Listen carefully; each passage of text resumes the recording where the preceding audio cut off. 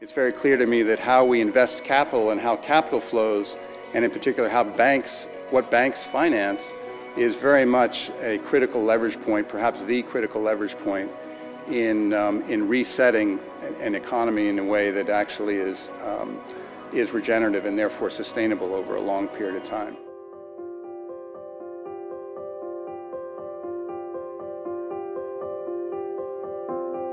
We live today at the intersection of an old economy that measures wealth narrowly, based mostly on short term financial gain, and a new regenerative economy that measures wealth in terms of the health and well being of all human communities and all natural life. Capital Institute is dedicated to exploring this crossroads and to supporting the transition to a regenerative economy. And we found a great place to study this transition and how difficult the challenges can be with First Green Bank. First Green was founded by Ken LaRoe, a successful Central Florida banker who set out to build a profitable bank driven by his passion for the environment. As it has turned out, he has faced many challenges along the way. This area is was historically rural and agricultural, uh, very very low population.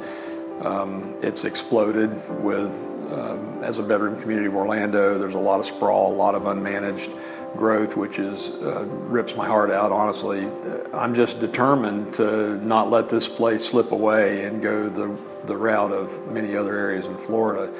In 2006, after the successful sale of the first bank he founded, Florida Choice, Ken went on a soul searching cross country trip.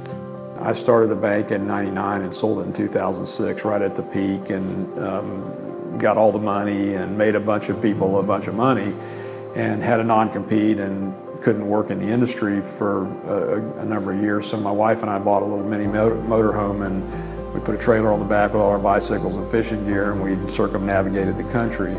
And before I left, my brother gave me a book, uh, Let My People Go Surfing, which is an autobiography of Yvon Chouinard, the founder of Patagonia Clothing. And it was uh, it was his life and how he reluctantly became a businessman and with the ethos that you could do right by doing right and, and everything, every element of his business is, is operated and developed under that premise. And I thought, well, geez, if he can do that in the clothing industry, which is a pretty rough industry for environmental um, sustainability or regeneration, well, you know, I can do that in the banking industry. Banking is the only thing I know, so why not try it? So I Googled green banks, and um, that led to the concept of, of First Green Bank. And um, we, I came back and called my attorney and gave him the idea, and he said, "Well, yeah, let's let's go forward with it." So we filed the application and went through the process of raising capital. We raised uh, $17.2 million um, in the worst capital environment there could ever be in 2008. And on December 22nd, 2008, we were granted the last bank charter ever granted in the state of Florida, and there's been none since. Um, we've just passed our six-year anniversary in business and our financial performance is in the, the top quartile of all banks in the state of Florida. First Green Bank was indeed outperforming on a financial basis. But now the hard work for a bank with a values mission lay ahead. At the beginning of 2015, only about 11% of First Green Bank's loans could be considered loans to values based businesses. So now the question was could First Green Bank also outperform as a values based bank? A bank fully committed to regenerating the community and the economy in which it operated? In June 2015, Capital Institute visited First Green Bank with Stuart Cowan. Stuart uses systems thinking to help regenerate communities and organizations. He asked Ken and his staff to imagine the bank as participating in a larger story that was about Central Florida's regeneration. So we're seeing the beginnings of a regenerative economy here in Central Florida. The, the seeds are here, and a single community bank like First Green Bank can be a hub, can be that connection point for lots of businesses that want to work with each other. Um, I think really a regenerative economy is an ecosystem of organizations. It's not about separate kind of visionary one-off businesses that have to figure out how to build all of this from scratch. It's about that community, that ecosystem of regenerative businesses. They're playing off of each other. They're learning from each other and they're literally exchanging materials and services. It's, they're circulating. In January 2016, knowing the difficult challenges that lay ahead for First Green Bank, we asked Vincent Stanley, Patagonia's Director of Philosophy, to visit with Ken at his lakeside home. Vincent asked Ken to focus on where First Green was succeeding in having a regenerative impact in Central Florida and to continue to build from there. In the past year, or, and, and, especially kind of looking forward from this period, are there, do, do the values you hold and that the bank represents give you an opportunity to make a kind of loan that hasn't existed before? Have you found new opportunities there for kind of creative, creative work in, in banking that you couldn't have done at the bank you owned before? I, well, the one thing that comes to mind is our solar loan program mm-hmm. that we offer for residential and commercial mm-hmm. um, solar installations. Um, it's a product we developed in this bank, but we refined it over the last seven years. We just kept saying, okay, what what makes it irresistible? What makes it where it's a no-brainer? Um, to the point where I think it's the best solar financing program in the country.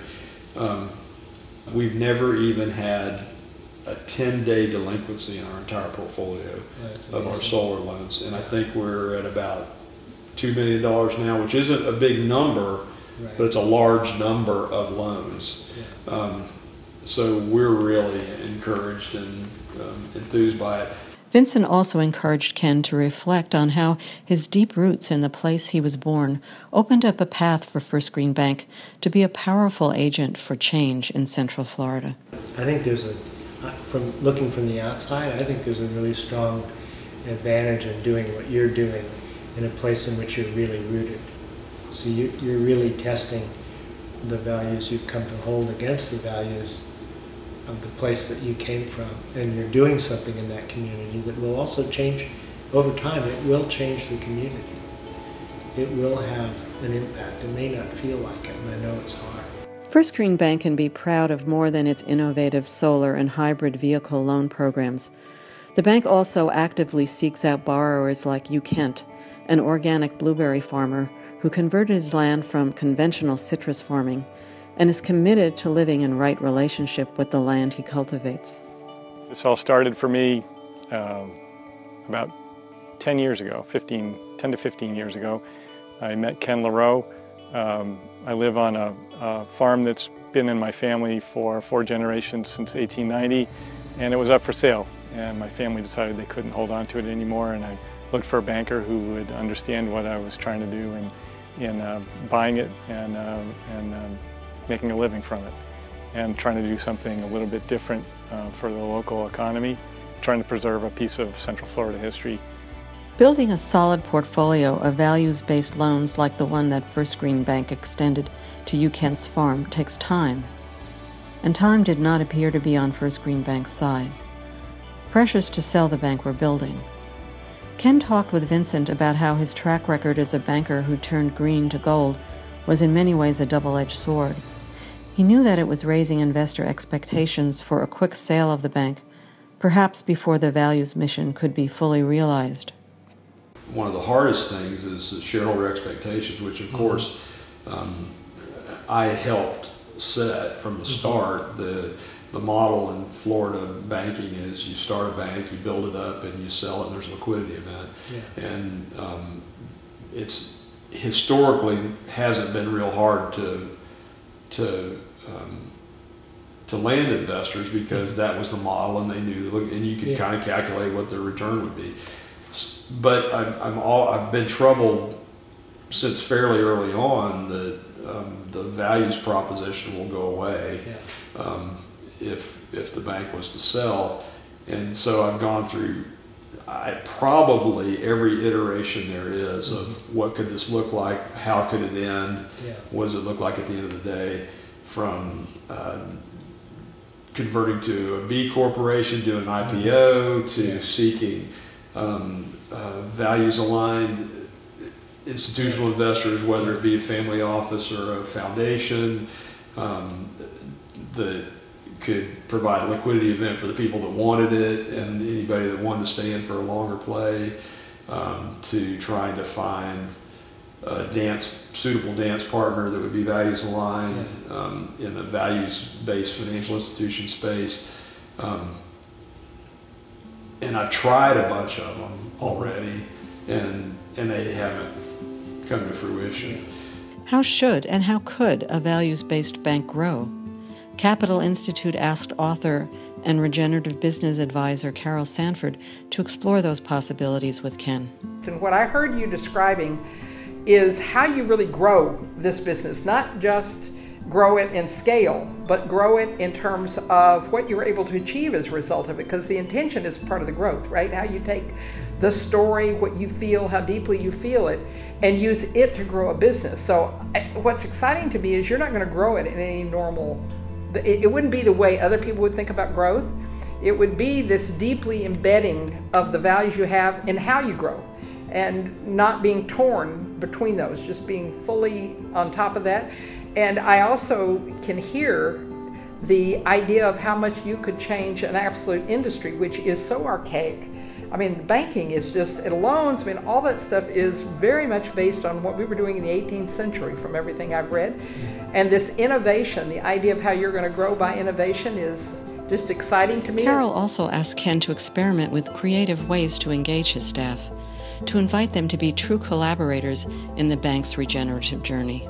I mean, the other thing was fun talking with you about is what your change in how you want to engage with your team. Uh, because part of what it takes to bring that focus inside is to engage all the members of, you know, not just your direct reports, but everybody connecting to that.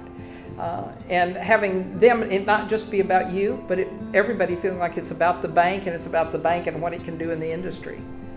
The research shows that if you develop people while you're engaging, that means you have them grow as people. You have them do reflecting on themselves. You have them observe what's happening to them while they're working. You teach them a different framework for doing, and both of you are entering into a space that you're learning while you're creating, and I mean learning at a personal, deep level, that then it goes much deeper. And you get a little destabilized in the process because you're having to do something you aren't usually doing. Mm-hmm. What we also discovered in talking to First Green Bank staff was that many were yearning for that kind of exciting, destabilizing leadership that would provide a space for everyone in the bank to draw on their potential to help the bank broaden and deepen its regenerative impact in the places where it was doing business. Among them were two ministers. They had originally been drawn to the bank because they saw it as a place where they could bring their spiritual values to the working world in a meaningful way. I, I, I see things, the potential within First Green Bank to change the earth is significant. But all it is is potential. Because, as I've said before, I say again, you can put signs on the wall, on every wall, and you can say this is a regenerative bank, this is a environmentally conscious bank. You can plaster those all over every wall, put them in the bathrooms, in the break rooms, in the conference rooms, on the TV screens, everywhere you want to. They can be everywhere, and yet mean nothing they have no power. Because the sign doesn't have a power. It doesn't speak. It doesn't have a voice. It doesn't have energy. What has energy is the people that are in the building, the people that are in the organization. And at some point, it has to get to a place where it's no longer the signs on the wall, but it is the the vision becomes the life, it becomes the blood of the organization, and it literally is contagious to every person that walks in the building. They don't have to see a sign that says we're regenerative, they feel it. Um, so, so before I came into the bank uh, a couple years ago, I actually was a United Methodist minister, and I did this thing called church planting. And when you church plant, you develop a church from from scratch, I guess uh, and you go out and you you talk to people about the vision of of a different kind of church, a new way of, of, of doing church.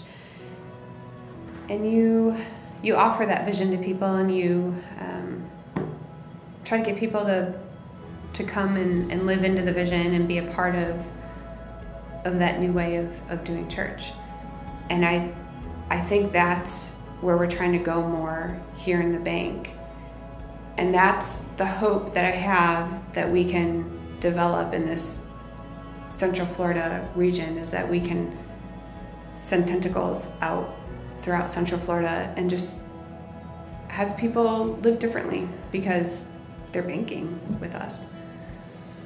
John Fullerton, Capital Institute's founder and a former Wall Street banker, spoke to two First Green Bank board members, Dr. Robert Purdon and Randy Strode. What emerged from that conversation was that both were authentically committed to First Green Bank's holistic values, but at the same time, they were struggling with the expectation that they'd held from the start that they would reap the financial rewards from their investment when the bank was eventually sold. And I just really believed in Ken. Mm. When uh, I came to Florida, I had an afro, Fu Manchu, was single, and bell-bottom trousers, as good a hippie as anybody, and I was going to save the Florida alligator, Lake Erie, the bald eagle, you name it, I was going to do it. And then found out maybe how shallow I was. I got married and had financial responsibilities, three little boys, and that all went by the wayside. Mm. But then I uh, have an opportunity now to, to go back to those roots. And yeah, I'm just, like I told Susan, I said, uh, you know, I, I, for some reason want to impress Ken. you know, just, he's he's had that, had that kind of effect on me, and it's mm. just it's good. It's good synergy, I think, between mm. Ken and I. John Fullerton spoke of First Green Bank as a precious asset. It had, he said, a vital role to play in an economy where so much was at stake. So, real investments, you know, what we invest in and, and bank lending is way more important than what we spend all our time paying attention to, which is securities trading. And so, securities trading has become the financial system, but that's just pushing paper around between you know one owner and another owner, and it doesn't actually translate into what changes on the ground.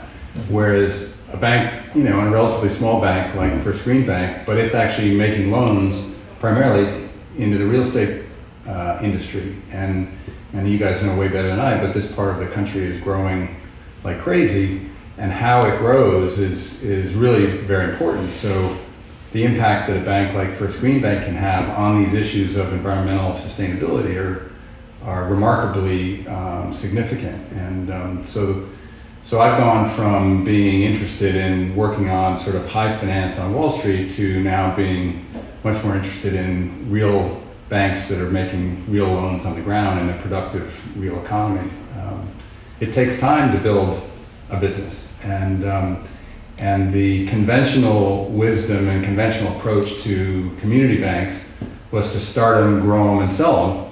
And yet that doesn't really match with the you know, a 25 year mission of a, of, a, of a bank, much less any other kind of business. So now what do we do when we've got this precious business building um, that it may be that if it was sold to, let's just pick on my old friends, JP Morgan Chase, yeah. it would disappear into yeah. the. Um, I think that a, a bank with a great idea that, that appeals to millennials and people who are concerned about the environment. If they grow quickly and in a, in a meaningful way, in a profitable way, that just speaks to the, the greatness of the idea. And so I don't think they're necessarily in conflict. Uh, growth and profitability and success of the economic model, yet I think it's going to be also driven by the um, the social model, how you how you have an impact in the world, you know, promoting solar and conservation and and having a, a forum in which you can actually speak that truth to the rest of the world. And the bigger you are and the more successful you are, the louder your voice. Mm-hmm. So, so I look at it that way. So, and as far as you know, growing it to, to sell it, um, we, we talked about it. We had a board retreat and we're, you know, if we're going to sell, we want to have those values on the same side, on the other side of the table of the people acquiring us. And if they don't have them, then maybe we can inculcate into that. Maybe we can impregnate them with that mm-hmm. set of values, which, like Unilever and Ben and Jerry's, we can maybe have an impact on the world that way. Mm-hmm. Um, but you know, I, I represent a consortium of investors, and we put a lot of money into this, and we want to see a return. So there's only three ways banks can make money, and that's to give you dividends, go public, and you got shares of stock and all the benefits of that, or else you can be sold. And, and so those are the three ways to create a, uh, a net return on your investment. So. But is there another possibility of a net return on your investment that's defined in greater than financial terms? David Korslund, an advisor to the Global Alliance for Banking on Values, thinks so. He talked with Ken about how he might begin a conversation with his investors that would define returns in terms of what you give back to your community and the world you leave behind for your children and your grandchildren. Well, but, but, but it's a real question because if you if your your investors end up with, with shares that have a solid return that they can give to their children and their grandchildren, that's also real. That's real value. That's real wealth. And but I, but but at what point, you know, going back to the question, what's your trade-off? What's the trade-off you want to inspire them to between what you're doing for your spirit and what you're doing for your pocketbook? Yeah. So a safe financial return and a super values return in terms of what you're doing for your community. It's a, it's a different way of thinking about uh, meeting investor demands and then getting and then inspiring the investor to say that's the that's that's what I want. I want to leave my grandchildren a, sh- a share of stock that I know will give them solid income every year, and at the same time leaves the community which they live better off with jobs, with an environment that's safe, and with uh, with healthy and, and happy people. First Green Bank now finds itself at a fork in the road. There are many possible scenarios for its future. What is certain is that the women and men who have joined First Green Bank and have had a taste of a new way of banking and doing business in the world will be forever changed. We're certain that they will go on to change the face of banking and to participate in new kinds of collaborative, regenerative businesses that will transform the heart and soul of our economy in Central Florida and beyond. But what I'm really interested in is for the, from the people who do the real work, who don't get the awards, who don't go out to, off to dinners and fancy places for meetings, you know, what's it like to operationalize a values-based regenerative agenda inside a bank in Central Florida? That to me is what's really interesting. I mean, operationally, it's fantastic because we feel like we're coming to work every morning for much more than, than just a paycheck, more um, to really make an impact on the community. In Central Florida specifically, um, it's, it's been great to see such a immediate sort of impact where if we were in a market that was already uh, sort of oriented to sustainability or social responsibility on a large, sort of broad scale, it may be it may be not so obvious. But here, I kind of sometimes joke or, or equate it to bringing water to a desert, and you just immediately see the sort of impact where the education and the influence aspect of what we do really sort of takes root and almost perpetuates itself. It has truly been a, uh, a journey for us, and, and people ask all the time, well, what, what's a green bank? I can tell you that whatever it is and whatever we do and whatever you do to try to, to become a values-based or, or maintain a values-based business is really, really hard. Um, and anybody that says otherwise is, is, is not being um, truthful or transparent.